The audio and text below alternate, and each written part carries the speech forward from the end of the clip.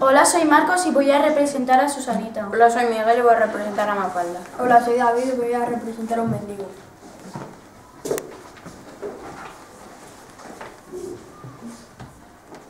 Una limosna. Me parte, me parte el alma ver a gente pobre. A mí también. Tendremos que darle techo, trabajo, bienestar a los pobres. ¿Para qué tanto? Valdría con esconderlos.